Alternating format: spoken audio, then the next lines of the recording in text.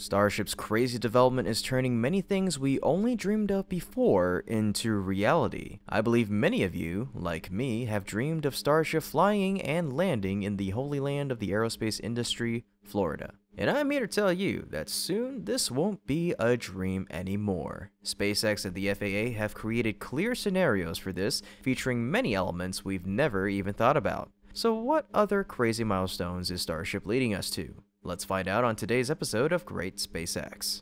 Did you know Starship set its footprint in Florida long ago with a launch system at LC-39A, where SpaceX currently launches the Falcon 9. But in 2024, everything seemed to become clearer as agencies begin evaluating the environmental impact statement for operating Starship and Super Heavy in Florida. After considering and comparing other potential options like SLC-50, LC-39A remained the choice of the FAA and SpaceX. Once everything was determined by May, the EIS preparation process began. After 45 days of public scoping, the FAA just released the draft EIS. It can be said that with just this draft, we can imagine the future of Starship. This notice clearly shows the roadmap for completing the EIS, the new design of Starship, the roles of organizations, and the issues that need to be resolved by SpaceX. Starship's design is something we've talked about before, but this statement has also other important plans. Proposed action for Starship's operation. Specifically, in the Proposed Action section, the FAA clearly states SpaceX proposes to construct launch, landing, and other associated infrastructure at and in proximity to LC-39A. The proposal also includes Starship Super Heavy launches at LC-39A, recoverable Super Heavy booster and Starship landings at LC-39A or on a drone ship, and expendable Super Heavy booster and Starship landings in the ocean. Perhaps, maybe you, like me, were immediately interested in one of these, right? And of course, it was landing Starship and Super Heavy on the drone ship that perked your ears. Speaking of drone ships, we definitely think of the Falcon 9. After many years of application, SpaceX conducted about 260 attempts with this method. Combined with the landing zone, this method has helped SpaceX consistently create rocket landings and reuse records, which sets them apart from the rest. And now it'll be applied to Starship.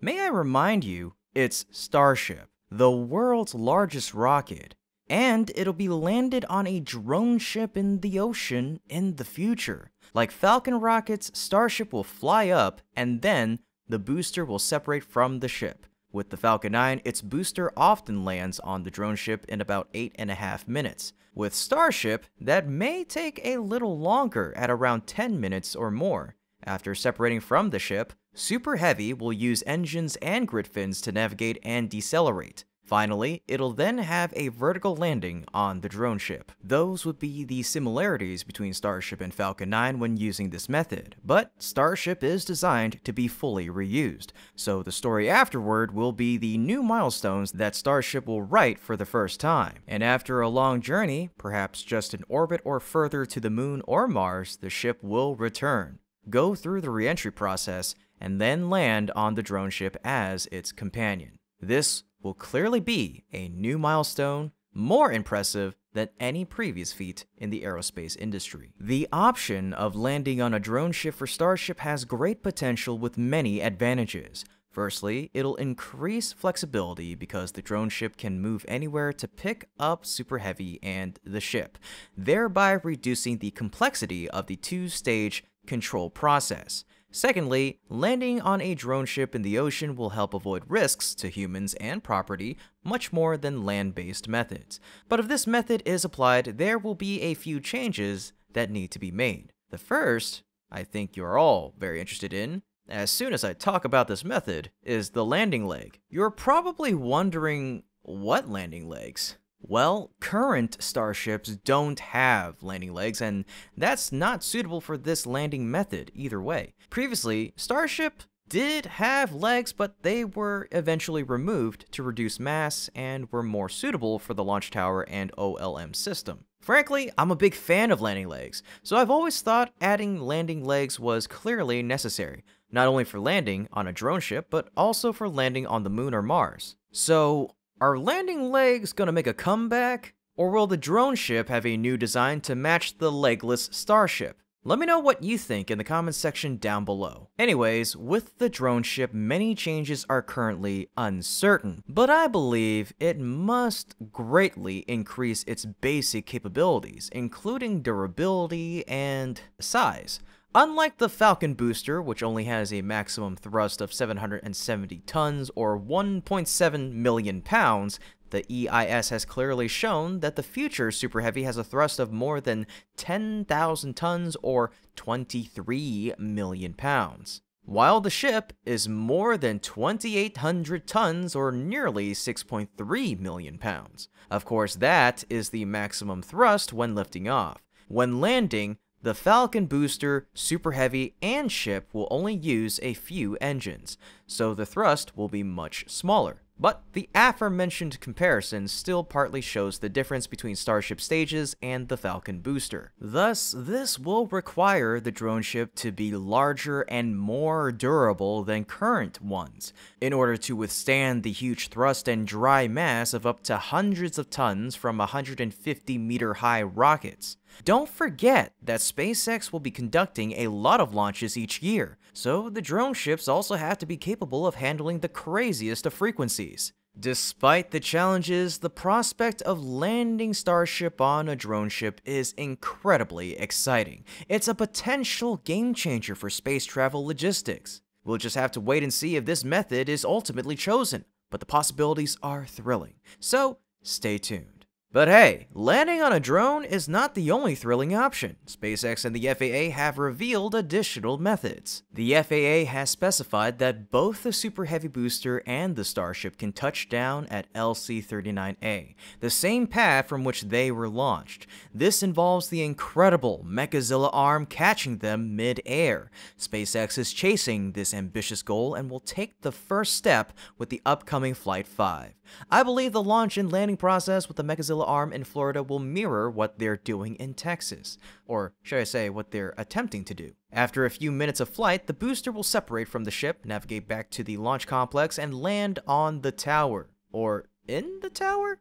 The ship's journey will be longer, as detailed in the drone ship section. After completing its mission, the ship will re-enter the atmosphere and land using the tower, just like its booster companion. Regarding the infrastructure supporting this initiative, the FAA highlighted key elements in their background statement. On the map, we can identify NASA-approved zones, such as the Air Separation Unit Area, Deluge Pond, and facilities dedicated to propellant generation and storage. However, the standout feature is undoubtedly the Catch Tower. This revelation indicates that SpaceX will have at least two towers at LC-39A, each serving distinct purposes, one for launching and the other catching. Incredible, isn't it? With this approach, SpaceX can continue to employ the current landing design without landing legs. This method offers the advantage of expediting repairs and refurbishments, thus reducing turnaround time. Not only is this visually impressive, but it also sets SpaceX apart, as no other organization has achieved this feat. But in return, SpaceX will need to master this method thoroughly. Landing with a Mechazilla arm demands utmost precision and entails significant risks, to surrounding infrastructure. LC-39A hosts the Falcon 9 launch pad, a critical asset for NASA, underscoring the importance of flawless execution. Nevertheless, landing with the Mechazilla arm promises to captivate the world's attention. The journey will likely begin with Flight 5, anticipated to occur late next month. After discussing the two methods mentioned earlier, the FAA also presented another option termed expendable, meaning that the Super Heavy and ship would not be reused and would instead be landed in the Atlantic Ocean. The FAA's statement included mapped regions with specific distances and latitudes for these landings. However, this method is certainly not ideal, rather it serves as a contingency plan for exceptional circumstances. For now, I'd like to ask you, which method do you prefer for Starship? Drone ship or Mechazilla arm? Feel free to share your choice in the comment section down below, I'll be eagerly awaiting your response. Regardless of the chosen method, however, SpaceX faces several tasks ahead. Bringing the giant rocket to Florida involves collaborating closely with the FAA and numerous other organizations to finalize the EIS. Following the draft, they'll gather public comments, make necessary modifications, finalize the official EIS, and move towards making critical decisions. They also need to master the landing soon. The next challenge will be Flight 5, which will pave the way for catching the Super Heavy with the Mechazilla arm. Only after achieving this milestone will SpaceX consider applying it in Florida or transitioning to drone ship landings. It's a rough road ahead, but nothing is impossible. So let's share our eagerness and await the outcome. Well, folks, that's about it for today's episode. Thank you so much for tuning in, and as always, this has been Kevin from Great SpaceX. Until next time, keep looking up.